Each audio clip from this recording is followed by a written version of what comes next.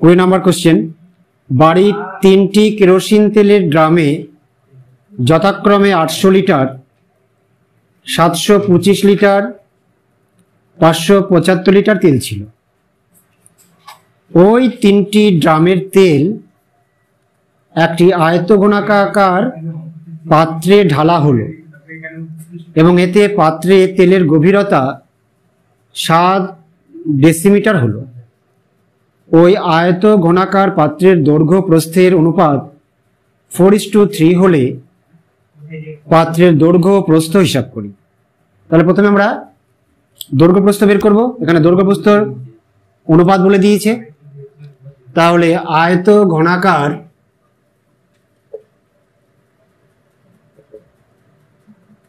পাত্রের দৈর্ঘ্য is to প্রস্থ ফোর ইস টু থ্রি। অতএব দৈর্ঘ্য ফোর এক্স একক হলে প্রস্থ হবে থ্রি এক্স একক। অতএব আয়ত ঘনাকার পাত্রের আয়তন দৈর্ঘ্য ফোর এক্স ইন্টু প্রস্থ থ্রি এক্স ইন্টু গভীরতা হচ্ছে সাত ডেসিমি তাহলে এত ঘন ডেসিমি ঘন ডেসিমি মানে হচ্ছে লিটার এক ঘন ডেসিমি মানে এক লিটার শর্তানুসারে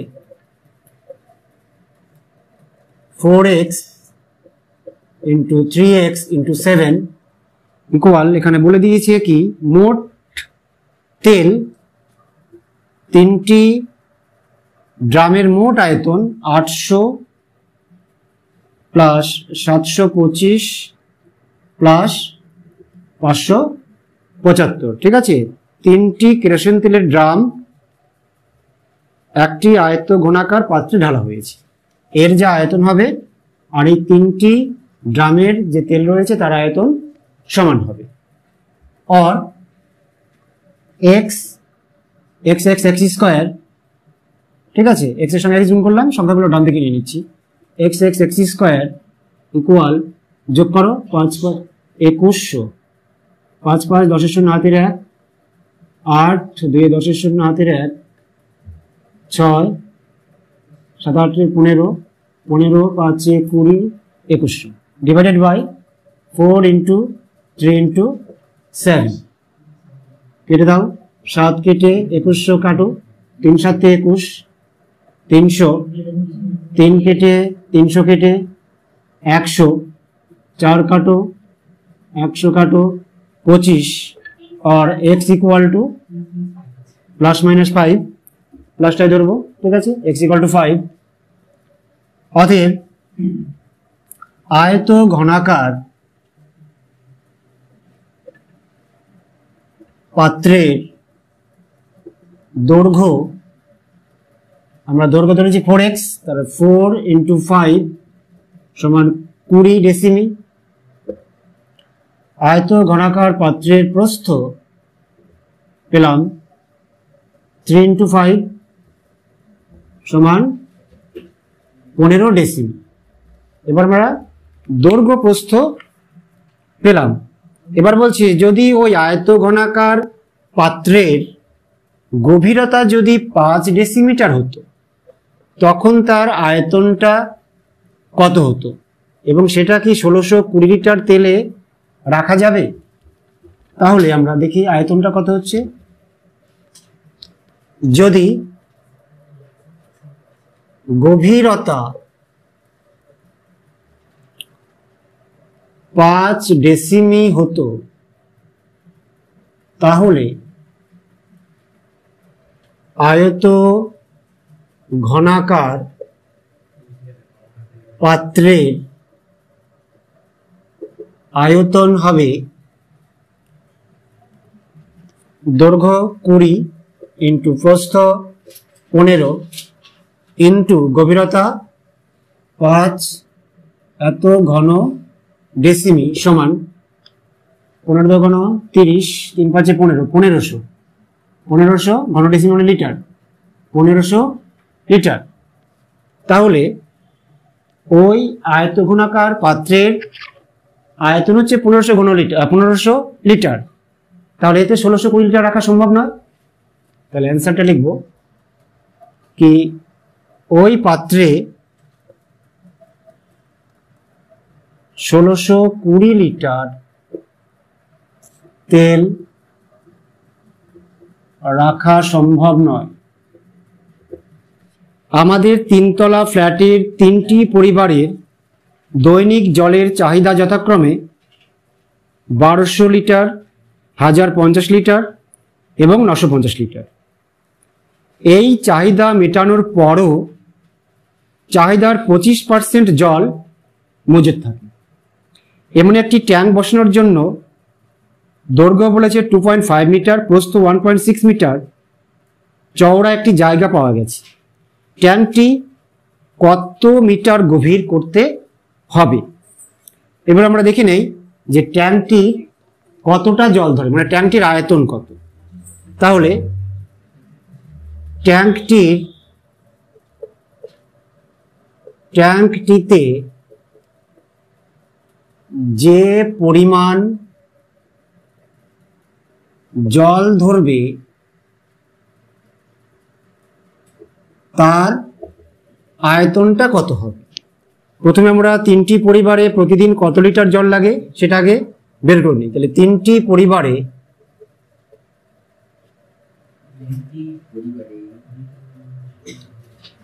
প্রতিদিন মোট জল লাগে বারোশো লিটার প্লাস হাজার পঞ্চাশ লিটার প্লাস নশো পঞ্চাশ লিটার। সমান বত্রিশশো লিটার।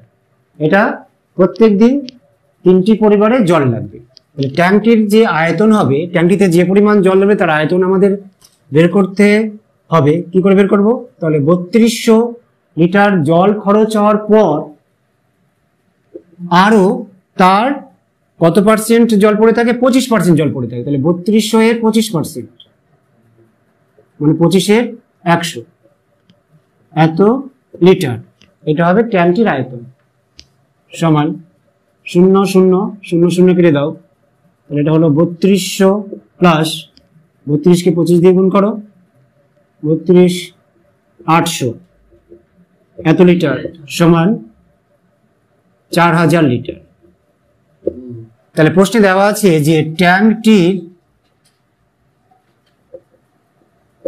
দৈর্ঘ্য হবে টু পয়েন্ট ফাইভ মিটার মিটারটাকে আমরা ডেসিমিটার নিয়ে নেব। ডেসিমিটার কি হবে? দশ দিয়ে গুণ তাহলে পঁচিশ ডেসিমিটার ট্যাঙ্কটির প্রস্থ কত করতে হবে? প্রস্থ ওয়ান পয়েন্ট সিক্স মিটার সমান ষোলো ডেসিমিটার এবার ট্যাঙ্কটি কতটা গভীর করতে হবে? ধরি, ট্যাঙ্কটি এক্স ডেসিমি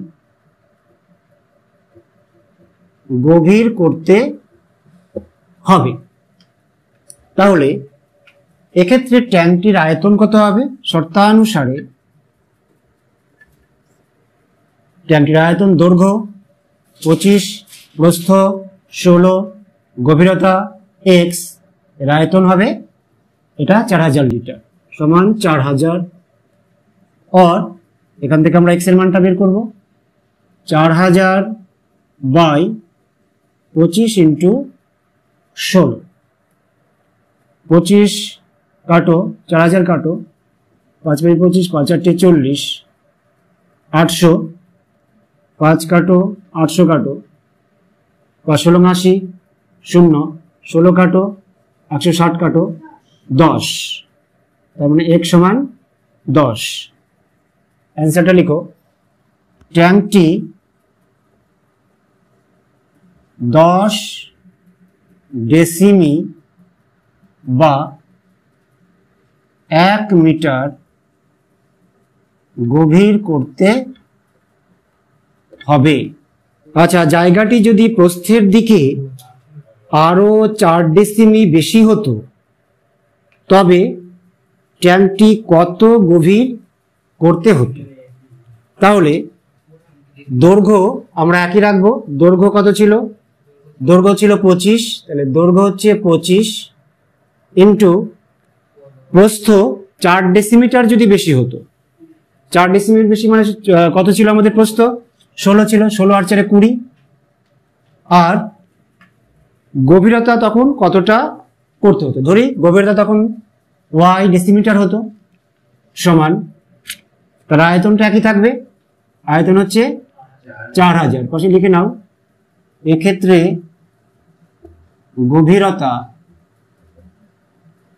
ধরি ওয়াই ডেসিমি এখান থেকে ওয়াই মান বের করো অর ওয়াই সমান চার হাজার বাই পঁচিশ ইন্টু কুড়ি। শূন্য কাটো, উপরে শূন্য কেটে দাও। দুই কেটে চার হাজার কাটো, চারশো কাটো। দুশো হ্যাঁ আট পঁচিশ সম দুশো, আট, আর ওয়াই সমান আট। তাহলে এক্ষেত্রে কতটা গভীর করতে হতো? এক্ষেত্রে আট ডেসিমি গভীর করতে হতো।